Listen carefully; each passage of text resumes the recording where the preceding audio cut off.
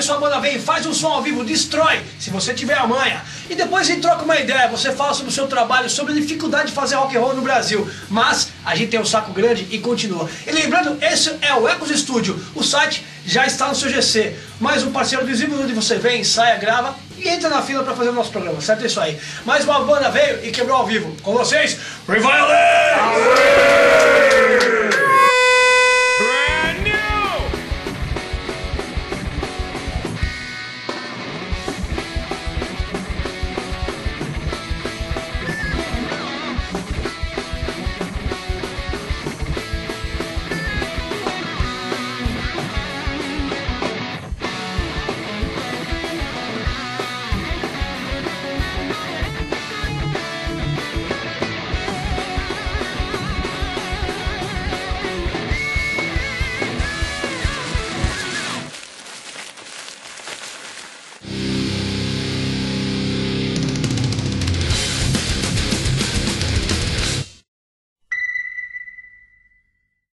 Aí, nós somos o Reviolence, Destruição Total, Violent Phoenix.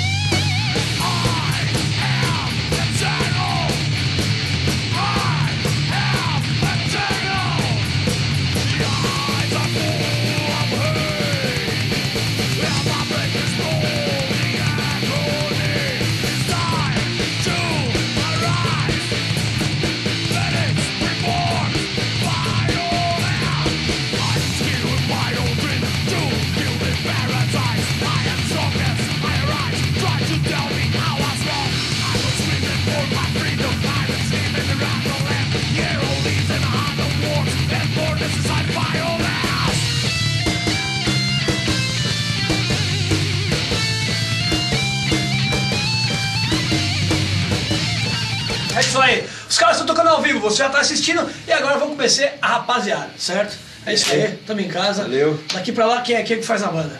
Guilherme Guitarra, Carlos Vocal. Edson Batera. Cliff Bass. Cliff, Cliff Bass. Foi a primeira vez que uma banda veio e o cara na cara dura, antes de começar a entrevista, me solta uma bufa. É um filho da puta mesmo, né? Mas tudo bem, essa é a casa da sogra, isso é exível, certo? Edão, Oi. eu, você e o Cliff, a gente já conhece, já, já conheço vocês dois há uma mó cara. Velha data. Puta, pelo menos, pelo menos uns 10 anos aí. E agora, já faz algum tempo, agora não, algum tempo que vocês me falam sobre uma nova banda, um novo trabalho de vocês, o crer. Como é que é o Reviolence? Fala que a galera tá vendo em casa aí. Bom, beleza. O Revivalence começou quando o Panzer acabou, que era a banda trash. Que Panzer. eu, o Panzer, que eu e o Cliff a gente tocava, o Panzer fez Slivers também. Ah. Aí a, a banda acabou, a gente montou um trabalho novo chamado Revivalence. Certo. E teve uma primeira formação que lançou um EP, saiu uma coletânea fora do- da- na, na Europa também, na Alemanha, foi distribuída na, na Europa toda. Certo. E aí depois essa formação acabou, aí a banda ficou parada mais ou menos um ano, aí a gente reformulou a banda e é essa galera que você tá vendo. Certo. Entendeu? E a gente acabou, eh, com essa formação a gente acabou de lançar o, um EP novo agora. Isso. Como é que é esse lance aí? É independentão com a maioria das bandas? Tem aí o patrocínio? Ou vem da loja? Vem do trabalho? De onde vem essa grana aí? Onde se encontrou os dois seguros aqui? É, na verdade, é, como que primeiro, falando primeiro do EP, o que, que acontece é que a gente, pô, essa, é- a gente- a banda precisava voltar, tá? A banda precisava aparecer de novo. É a uma gente- outra história, né? É uma outra Começa história, não tem novo, nada a né? ver com o que era, é mais sangue no zóio a parada mesmo. Certo. a viu. E a banda precisava aparecer de novo, então a gente fez esse EP que é uma amostra do, do CD que a gente já tá gravando, entendeu? É, ah, tá- é, a gente já tá É um medley. é um, mais ou menos. Quase, por aí. E, e o que que acontece? O, o- quem tá produzindo esse CD dessa, é, como, como sempre, é o Pompeu e o Eros, né? Ele tá fazendo a produção. Sempre, né? As meninas.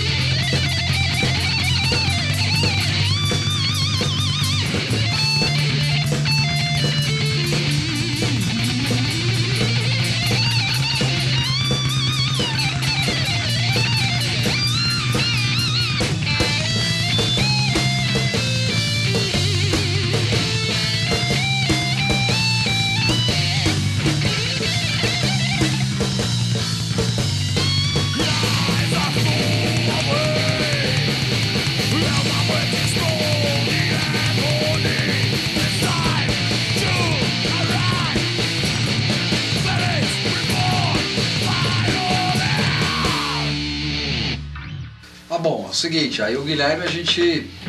Esse cara conheceu ele tocando ao vivo no Trax Ah, é, foi uma história bem louca. Foi uma história bem louca. Trax É, eu eu tava muito louco. A história é muito eu louca, eu tava, eu tava muito louco, tá ligado? Blackmore. No, No Blackmore, Blackmore. eu tava chapado aí, eu vi esse cara tocando no palco, aí eu fui na porta do camarim e fiquei esperando ele sair. Tipo Aí uma eu- grupe. Tipo a grupo.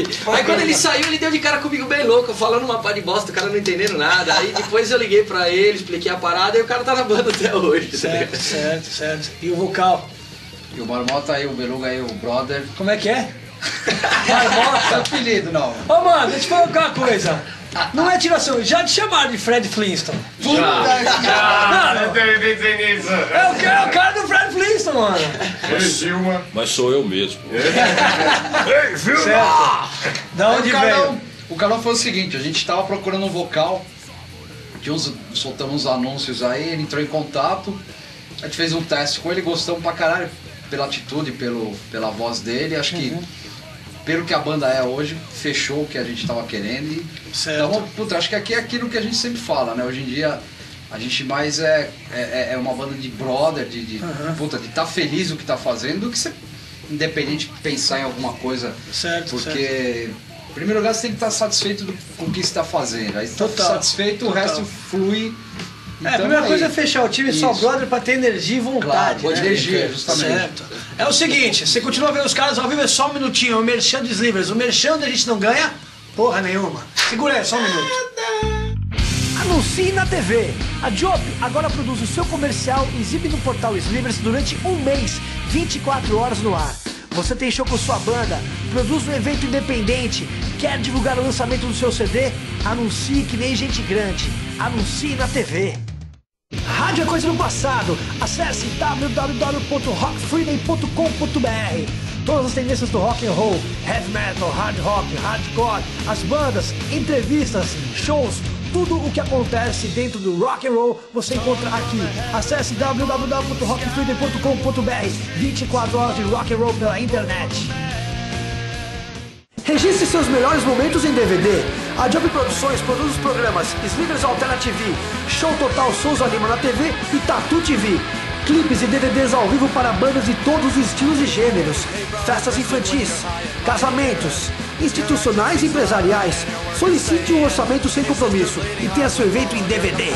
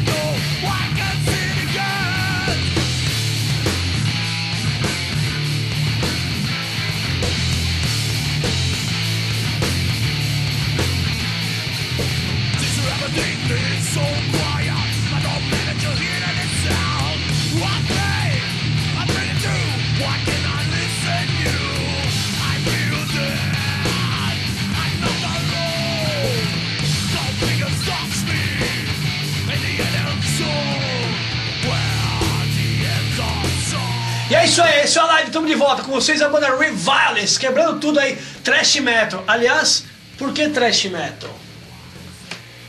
Pô, cara, é.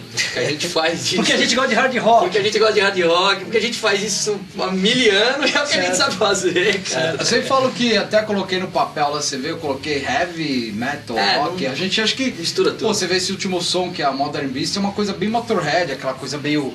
Aham. meio, né, baixão na cara, assim, e tal, fazendo. A gente curte, puta, desde o rock and roll até o trash, então acho que é uma mistura aí que é, que é o que eu falo, é, é, é uma geral de tudo e, e o som sai fudido, ó, Meg. É isso aí. Seguinte, bicho, você e o Edão, os dois já participaram do Slivers com, outros, com outras bandas, outras épocas, desde que a gente tá aí, desde 2001. A gente sempre se conheceu de balada de rock and roll, de putaria, de cachaça, enfim. Bom, chegando nessa numa certa, um pouquinho mais de idade do que o nosso amigo guitarrista aqui, esse 30 e pouco, o que que faz agora ter o tesão de tocar? É, é como a gente fala, porra, é que ninguém tá ganhando porra nenhuma. Porra nenhuma. Então a gente tá realmente. Por isso que em primeiro plano é o que eu falo, se a gente não tá satisfeito com o que tá fazendo, vai valer a pena. Então, porque porque a gente gosta mesmo, Uhum, entendeu? Então, em primeiro, pô, do caralho, você tá tocando, teu, teu Guilherme aí com a Sangue gente novo, no né? Gás também. Dá gás pra gente. Dá gás também, então acho que isso que é parada, né, meu? Com a idade você trabalha não tem mais... Ultragás. Ele leva o gás na casa dos caras. Tem mais, a gente... Ah, o gás!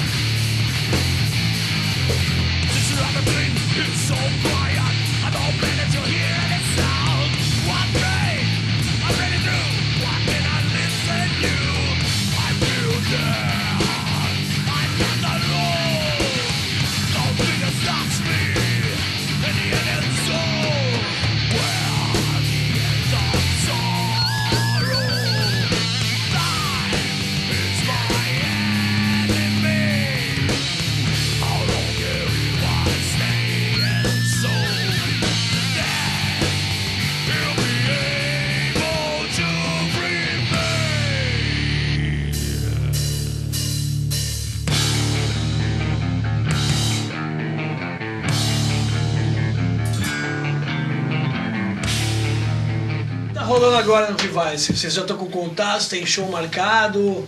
É, agora a Como é que tá, tá sentindo o Brasil? Agora a aí? gente tá produzindo o disco, né? Já Uhum. tá. já- nós fizemos as É, bateras. a já tá pronta É, também, a gente tá né? fazendo os baixos agora, em breve já começa as guitarras. E a gente espera que, sei lá, dentro dos próximos meses aí a parada já tá pronta. Já tem alguma coisa conversada com gravadora. É aquela pica que você sabe, gravadora nada é muito certo, os caras falam, não, tá legal, mas ninguém sabe se vai ser mesmo. Só na hora que a porra tá pronta ali que se o cara vai falar sim ou não. Pode crer. A gente vai lançar agora, dentro de umas semanas, a gente vai trazer pra vocês um videoclipe. que a, gente tá Certo, pro- a certo. gente mesmo tá produzindo. Da hora, entendeu? legal. Com, ah, com, com uma parte de cena ao vivo, umas cenas Uhum. de estúdio. E então aí, cara, fazer. correndo atrás do disco ficar pronto, porque é só com o disco mesmo que você consegue mostrar uma, uma cara mais. Tá, então por enquanto a banda se concentrando na finalização do, do, Pô, com do certeza, CD. com certeza. E então, é, tá pra pintar, assim, a gente fez algumas datas pra, essas se- meses pra trás agora, pode ser que pinte mais alguma coisa pra frente, mas a concentração mesmo é na parada do disco. Tá, e como é que vocês têm sentido a receptividade da galera aí? Tá legal, tá legal. caralho.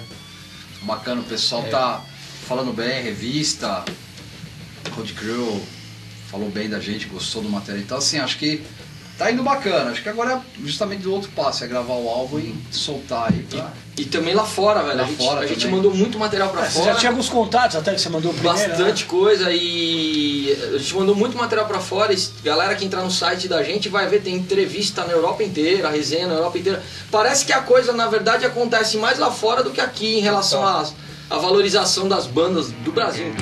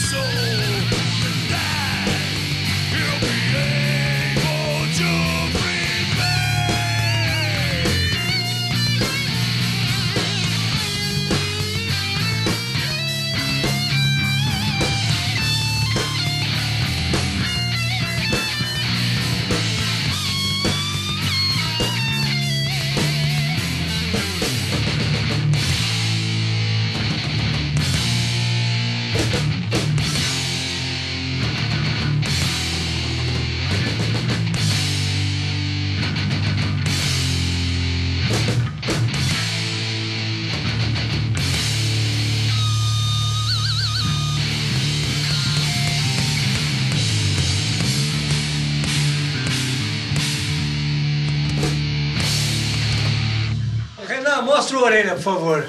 Aê, Aê, gatão. pronto, esse é o gatão. Não, velho. Tarcísio Meira. É verdade. Tarcísio é orelha.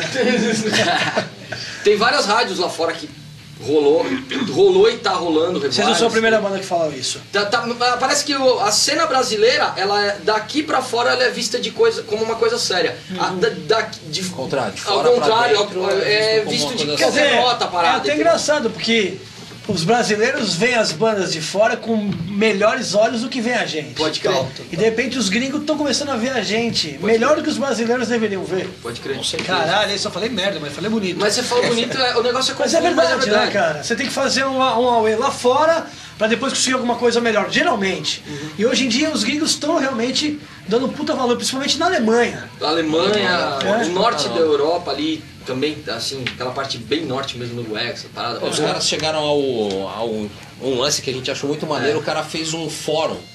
Só de fã europeu. Um, Tipo assim, só, tipo, cara fez todo o esquema do, né, o layout. O layout todo baseado no site da gente. site, muito legal do O cara cara que mesmo. fez não cobrou nada. Nada, fez Não, o ele ele fez e nada, mandou. nada. Falou, ó, fiz um fórum pra vocês. De fãs aí, europeus tal. do Revivalence, e aí os caras entram lá, é? E os comentando caras estão sobre a banda. discutindo qual vai ser a arte da capa do CD. É, Pô, legal isso daí, cara. Louco legal. isso. Você viu o cara. Isso é legal pra caralho. Isso é Porra. legal pra caralho. O cara do outro lado você nem conhece. o Então, cara... E o cara isso tá mostra. botando uma fé, muito animal. Isso já aconteceu na época que eu tocava com o Proposital, que o Romero mandou o CD um cara fez uma capa, fez um encarte do Proposital pra gente. Ou seja, isso é legal porque no Brasil tem muito nego que fica entrando no, no- no- nos MySpace e nos YouTube pra encher o saco. É verdade. Pra falar, não gostei desse guitar, eu gostei daquilo. Bicho, enquanto tem gringo que tá fazendo o site de graça pra gente, quer dizer, às vezes o cara não se toca que o próprio moleque sentado na frente do computador, ele é um dispositivo de divulgação da banda também. Vários caras que aí, molecada que tá em casa, ou caras que trabalham com web, poderiam fazer alguma coisa, não tem um cliente. Faz um lance pra uma banda que você gosta brasileira, faz um lance pra um brother, joga isso no ar, é divulgação do teu próprio nome. Com certeza. Por isso, que, fase, por né? isso que a gente tá correndo atrás agora, Macalão, de antes de sair o disco, soltar mais um clipe pra dar mais uma muvucada lá fora, Certo. justamente pra galera ficar antenada na, no pré-lançamento do disco, entendeu? Certo. Modern Beast.